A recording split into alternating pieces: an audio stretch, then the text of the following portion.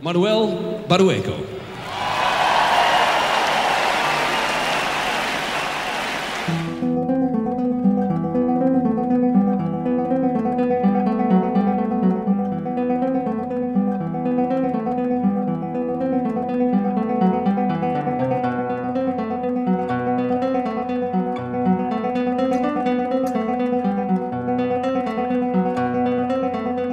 He was 21 and he said, You know, I'm going to be the greatest in the world.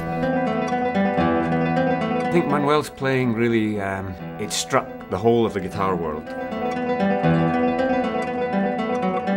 We can say that it's after Manuel and before Manuel Barrueco.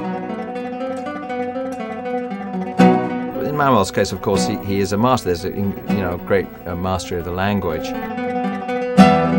It's just very, very easy to, to play with and change the music with and try things with. He's, he's very open.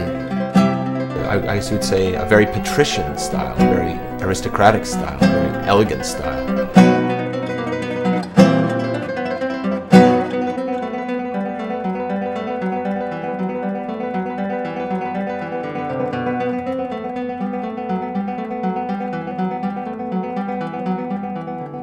Of course, the notes are there.